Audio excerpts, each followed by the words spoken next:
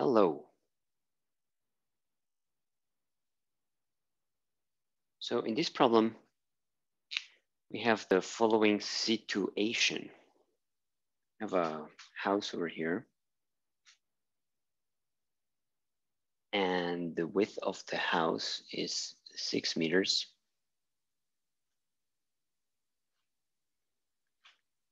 There's another six meters over here. Another six meters over here.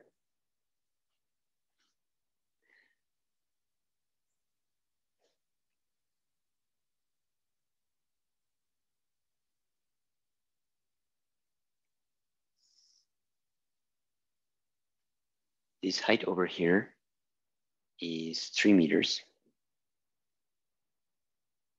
And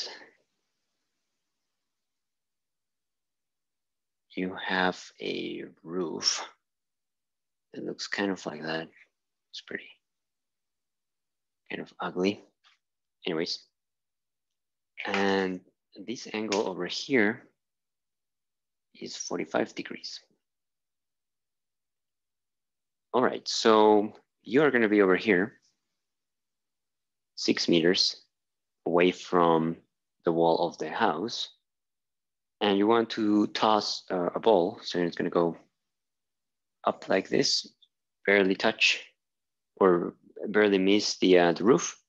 And then your friend is over here. And your, your friend is also six meters from the wall, the other wall. And you throw the ball not to scale, obviously, one meter above the ground.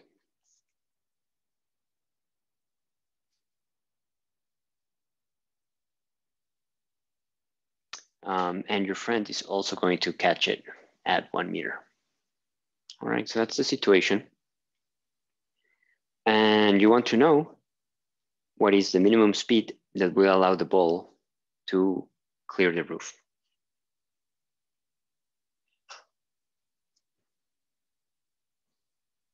So if this angle is 45 degrees, and we assume that the roof, the maximum height of the roof is at three meters, so in the middle, which seems a reasonable assumption, then we have a triangle, three meters here, and the angle is 45 degrees. So that means that the height is also three meters. Mm, you can do the trigonometry if you don't believe me, but it is. Okay, so then the height over here is three meters. So that means that the total height is six meters. Uh, but you are one meter above the ground and your friend too, or I guess the you're gonna throw the ball one meter above. So really, you want the ball to go up uh, five meters. Okay, so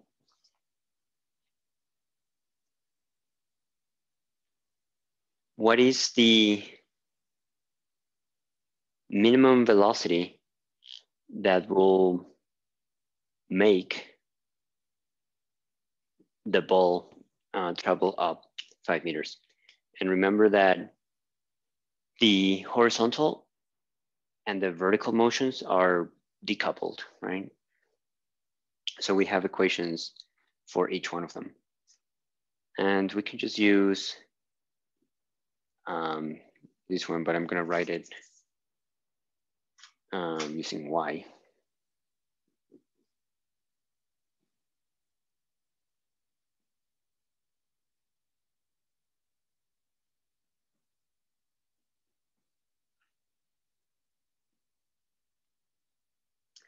Okay, so uh, y not is going to be zero, so we can forget about it. Um, but y is going to be five. The initial velocity is what we're looking for. And we know the, the acceleration.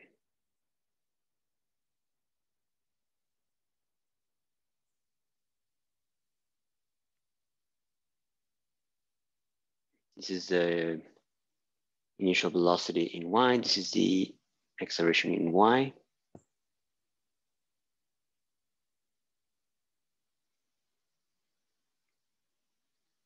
Mm, can also use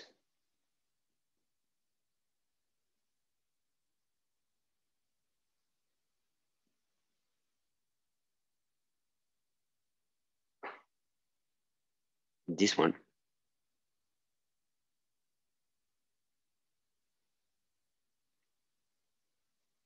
Yeah, this one is better. Sorry about that. So here, uh, we know the final velocity is going to be zero because it's at the, at the turning point. The initial velocity is what we're looking for. We know the acceleration is just gravity and we know the height, is five meters. So we can get the initial velocity.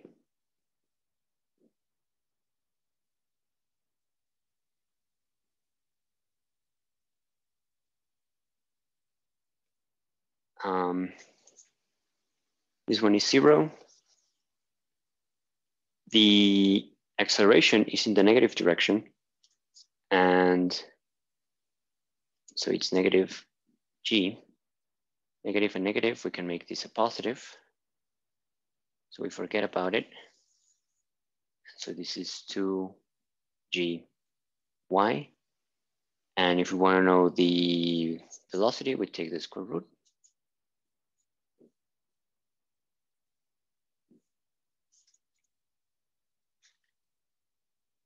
All right. We can put some um, some numbers in there.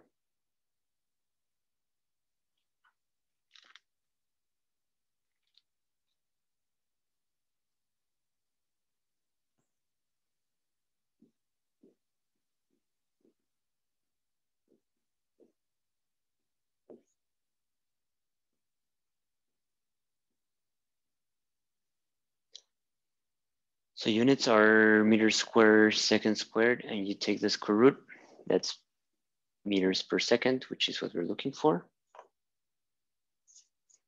So that's always good to know.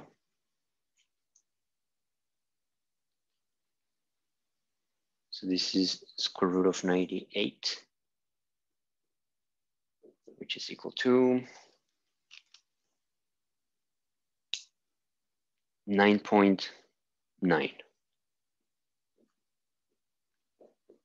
meters per second. So that is the initial, I'm gonna put it over here, initial velocity in y. And of course it's in the, in the positive direction, okay? So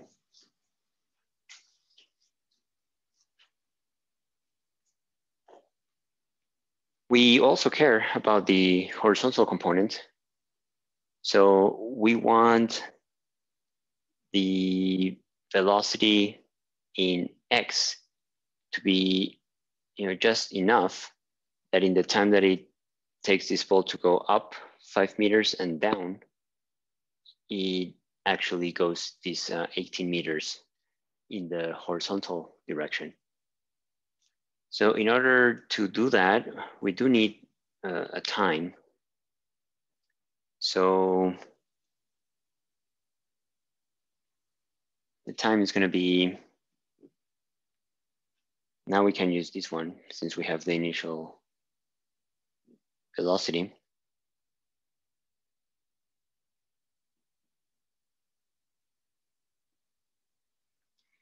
So we want to know the total time. So both y and y initial are going to be zero, right? So it has to go up and down. So we can get rid of both. This is equal to zero. Uh, we know that this is um, minus g.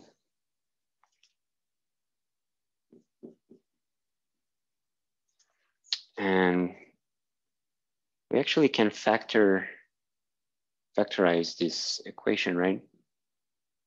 So we put the t outside, we get rid of it here and here. And this one we can move it over here, dividing, and that is still zero. So we got rid of that t. So that was useful. Uh, so now we can solve more easily for this t.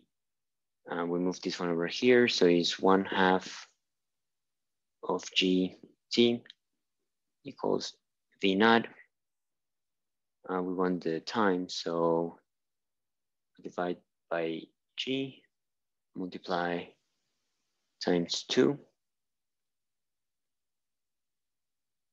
right? So units, we have meters per second divided by meter per second squared. So meter second squared divided by meter second. We get seconds, which is what we want. Always a good thing. So the time is going to be uh, 2 times 9.9 meters per second divided by 9.8 meters per second squared. Okay, and remember this is the time that it needs to go up and down, five meters.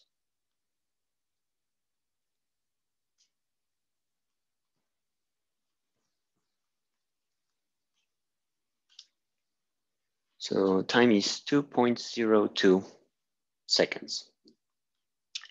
Let's put it over here. Nice.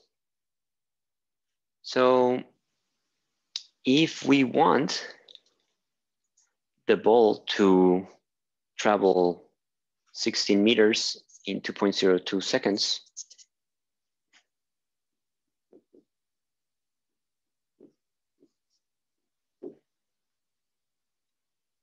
the delta x is going to be 18 meters. Delta t is going to be 2.02 seconds. And well, that's very close to nine.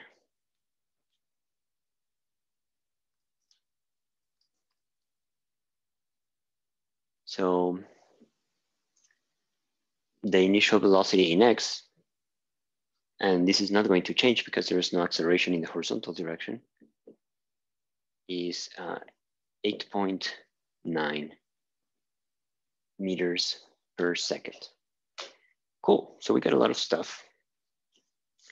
Now we need to know what is the total velocity.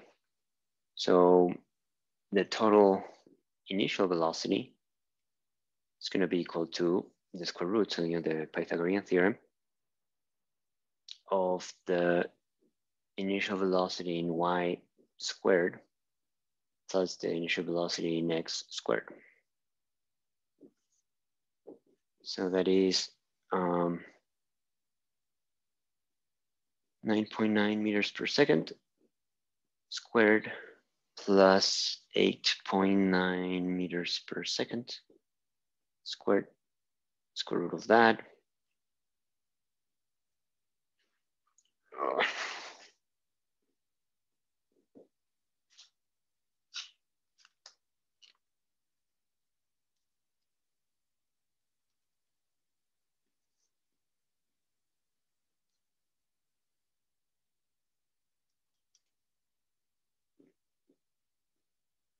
Square root of 98 plus 79 meters per second squared squared meters squared second squared. Mm.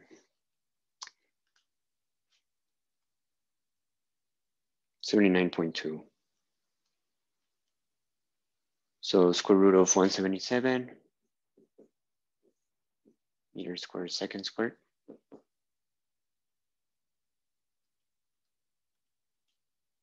And this is 13.3 meters per second. All right, so that is the, um, we had gotten the components of the initial velocity. Now we get the magnitude, and it's just the 13.3 meters per second. Awesome, that's what we had been asked for part A. For part B, they ask us to calculate the angle at which you should toss the ball. So we have the components of the of the velocity, initial velocity vector. So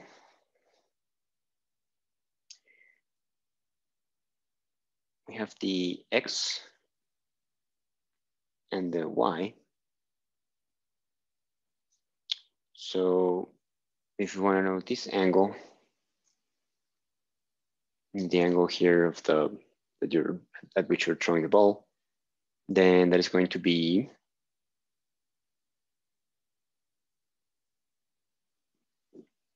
so the tangent of the angle theta is the component in y divided by the component in x. So if we want to get the angle, we take the arctangent. Um,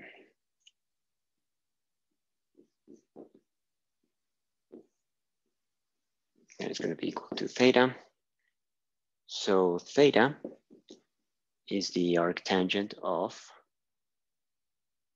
9.9 meters per second divided by 8.9 meters per second. The units go away as it should be because the arctangent function takes no units in its argument. So 9.9 divided by 8.9, and we take the arctangent of that in degrees. So theta is equal to 48 degrees. Cool, right? Okay, I hope you learn a lot. Thank you.